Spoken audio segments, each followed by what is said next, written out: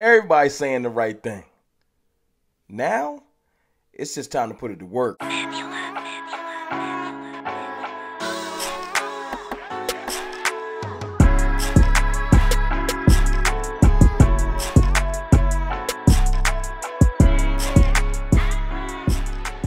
What's good, people? It's your boy, Mr. Rome, Cowboys fan talk, right back.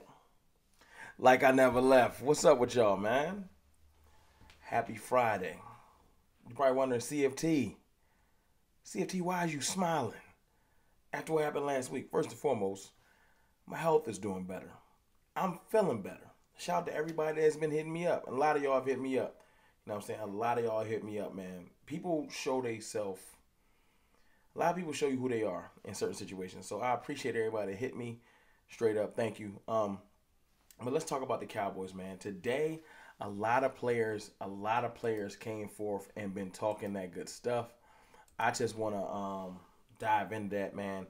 It's one of those things where it's been a kind of a, a well, not even kind of like one of the longest weeks in a long time as a Cowboys fan.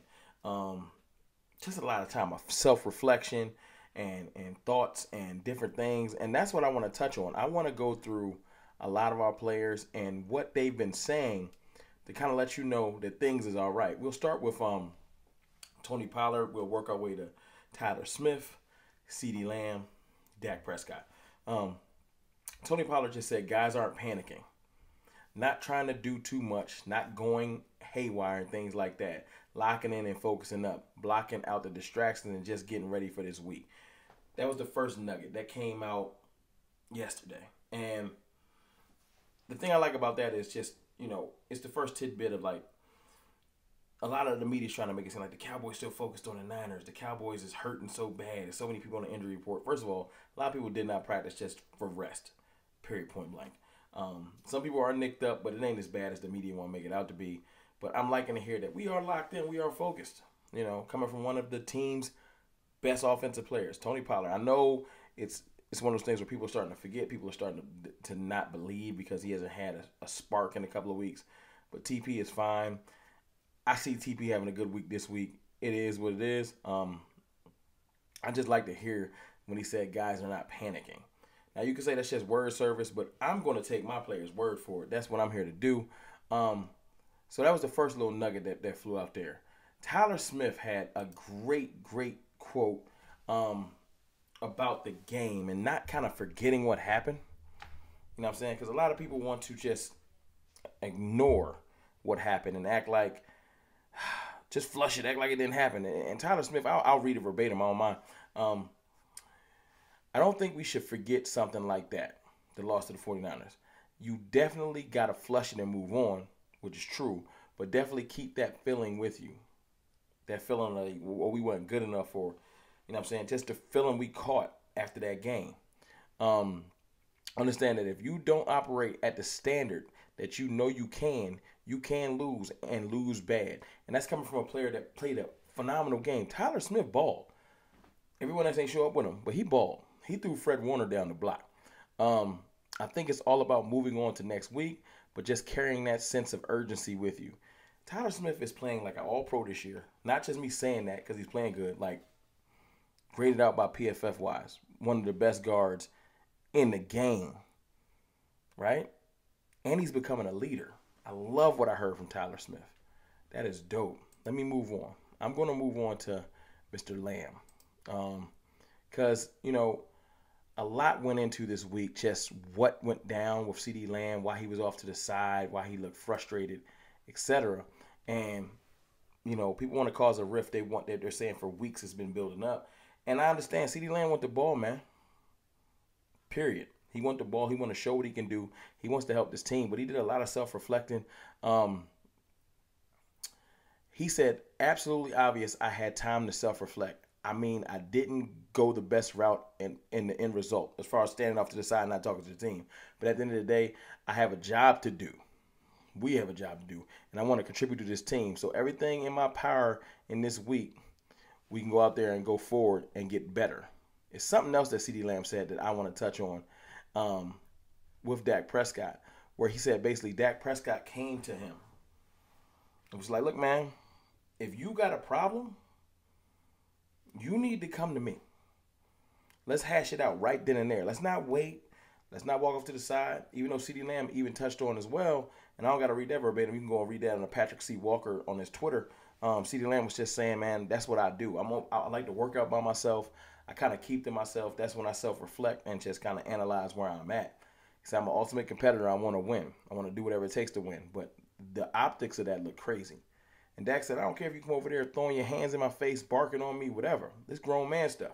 Let's fix the issue so we can go forward. But they hashed it out on Monday so that we have a good week of preparation heading into this next game, which is important. That's grown man stuff. Grown man stuff. From Tony Pollard. I'm just loving the, the variation from the players. We ain't get to talk to everybody. I mean, Jayron Kearse was talking about he knows what, what team, like owning the L, as I've said, but understanding, not getting down on yourself and like, oh, maybe I'm not that good. Nah, we're good. He said we're a great defense. You know, just like we weren't the best defense when we blew out the Giants, you're not gonna crown us the best defense, um, the worst defense when we lose. We know our standard and we know what we want to play to. So I like just the messaging that's been coming out from all the players, especially with CeeDee, um, saying that him and Dak hashed it out. They know what they got to do, and Dak being the leader that he is, he went to CeeDee. Yo, man, what's up? I don't know how it happened, but I I I I I, I surmised that it was yo, what's good? Like, like we got a problem. I and he, I hope he owned like I played trash. But let's move forward. We have had weeks where we went off. Like seriously, went off. Hundreds of yards. You know what I'm saying? Multiple touchdowns. Let's get back to that. We will we will get we'll earn our right back to, to, to play that team. But right now, we gotta focus on the Chargers. Um, and then last but not least, I want to talk about Dak Prescott. Um, Dak had a couple of great quotes today. I'm to start with this one. Um, talking about this, the 49ers lost, and but as the leader, I, I got to read this one. You can be shaken by that loss to the 49ers. You can't um you can't change your preparation as far as putting in that work. You can't change everything or anything you've done because that happened. Bad night, bad timing for some turnovers, etc. You just can't do anything um, on offense. And at the end of the day, it goes into the third downs. The third downs were the really manageable and things we've done been the best at in the league so far, which we have had good moments. I don't think we should just rely on getting the third down, but I do think we we were, were good at converting the third downs. That's my personal opinion. Um, we weren't able to do that. Credit to them. That's why the score looked like that. That's why that game looks like it does. They had a hell of a plan. They challenged us. We didn't respond the right way, and that's why it got ugly. Not going to just say, "Oh, well, it was all us," like saying we just didn't ball, and that's why we got blown out. That's a hell of a team we played, and we're going to credit them, but not going to allow it to shake our confidence in who we are. That's a mouthful. Like saying that you didn't play your game and that's why you got blown out is one thing, but you can't just take all of it on yourself. If we play our game, you act like they don't get better themselves. Like they're not going to work to get better later in this year too when they see us again. Like they don't expect us to come give us our best effort out of the last four matchups. They expecting it, they waiting for it. But that's why you got to say we know you're a good team, and you got to prep as if they got better too, not if they as if they stayed the same. Um, as I said after the game, at this point in week five, they're further along than us. That's a fact. But there's a lot of football left, and we've got to make sure that we're continuing to get better, and that's um, that's been the attitude this week. Coming in, practicing, and preparation, and we're going to continue to do that. See, there's a lot of things floating around about like all of the Cowboys. Um, like there's people saying they're focusing on Niners too much.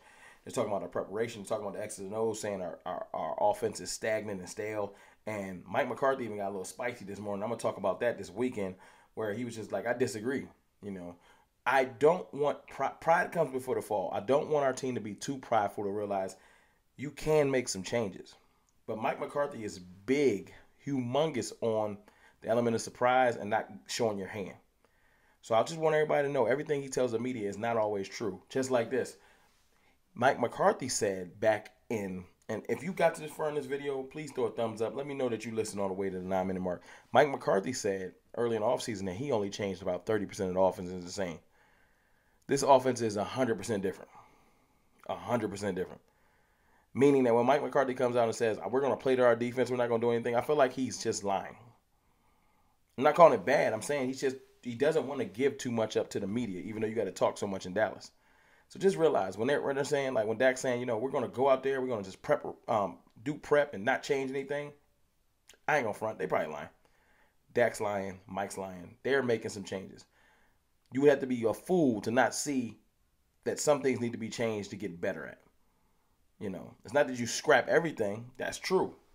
But some things can be changed to get better at. But I would love to know your thoughts on just some of the messaging that's coming out from our team. You know what I'm saying? Like, I really, really think that it was some grown man stuff that happened this week. Self reflection, self understanding, knowing that you got to do more to get better, right? Because we got to go out there and we got a job to do on Monday night. Still got a couple more days of prep. I feel like the players are in the right mindset to bounce back. I'm gonna leave you with this nugget for you leave. Remember, the Cowboys ain't lost two games in a row since 2021. The Chiefs and the Raiders. Remember, CeeDee Lamb was out with a concussion. He missed most of the Chiefs game and the whole next game, and that's when things got weird, trying to force it to Noah Brown.